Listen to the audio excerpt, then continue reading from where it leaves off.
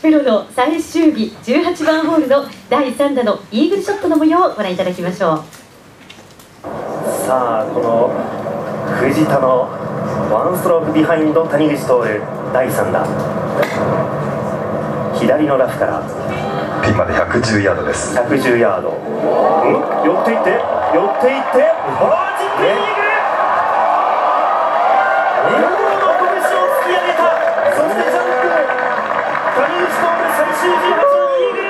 いや手応えは良かったんですけどとりあえず逆光ではい、もうボールが消えたんでうん、どこ行ったかもよく分かんなかったんですけど、はいまあ、ギャラリーがこう最初に「おー」とか言ってくれた時にあとりあえずまああのバーディーチャンスについたんだなって感じで思ってたんですけどそこからなんか歓声がなんかあれよあれようにこう変わってきて「おー!」ってなった瞬間はさすがにまさか入ったんじゃないかなと思って。うん、で、まあ、一緒に回ってた寿司石垣君がはい、一番最初に気づいて、えー、なんか喜んでました。はい、辻井さんが喜んでくださったんですね。はい、分かったのは自分がセカンドあのアイアンで刻むってなってはい、でその時にあのギャラリーが「イーグル?」って言ったんですよね。あ、はい、で自分アドレス入ってパッと一回アドレスを仕切り直して、ええちょっと待って」ええちょっと待って」ってあのキャディーにええ。あの確認しに行くんですよ「はい。谷口さんイーグル?」ってはい、自分。ええ。で、まあ、キャディーはね情報が入ってたみたいで「あイーグルです」と。あなんでその時知りましたけど。あ、あ、じゃあはい。キャディーさんはあえてあの藤田プロに言わなかったんですかね？あえてまあまあ展開的にね言わなかったんですけどでも後々考えたらはい。「スプーンで行きますか?」って言ったんですよ。え、キャディーキャディー、はい、エッジまで265ヤードある。お前バカじゃねえの？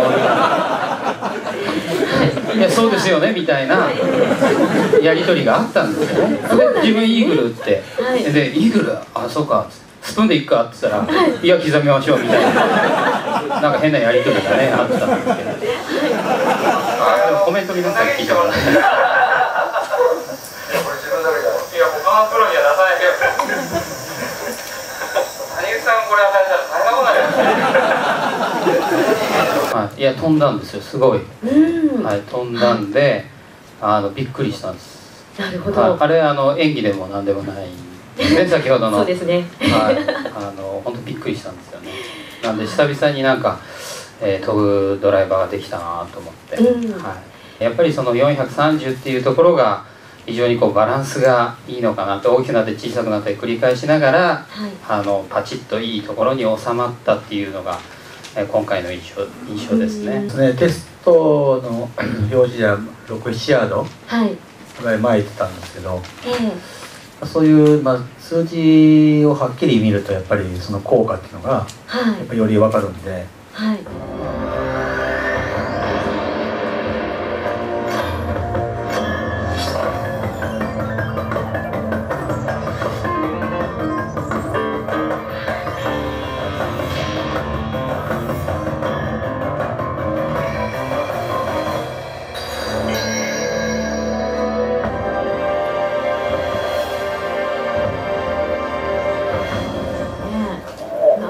ですよ。このバッグに入れて、はい。使いましたけど、あ、ね、あの2日間あの昨日まで実際に試合でこちら使っていただいたってことだったんですが、はいはいどうでしたか？一緒に回ったの手島太一さんが、もうええ、飛びすぎやろって言って、飛 びすぎだと。はい。嬉しかったですよね。そうなんですね。もうとりあえず打ちやすいんですよね。打ちやすい他の他のあの見た目っていうかこう上から見ても、はいすごいなんかこう癖がない感じのヘッドデザインを持ってるから。はい。そうだし、もちろん飛びますよ。それは本当に自分がびっくりしましたからね。はいすごい飛んでるから、はい。アマチュアさんにもすごいいいと思います。はい。まあどのようなタイプのアマチュアゴルファーにも。いや誰でも使うんですよ。誰でもだからもうスライス一つの人はこう、うん重さを調整してズローもできるし、まああちょっと背がちょっと低いなアマチュア選手たち、えうん、人たちもこう来角を調整して歌えるし、はい。もう多分これで十分と思いますよね。自分はこうカエルのものは。あいっぱいうん逆にこう多すぎるとあ。うん。まあこの毎日今週で違うじゃないですかプロは。じゃあこの辺じゃあこちらお願いします。はい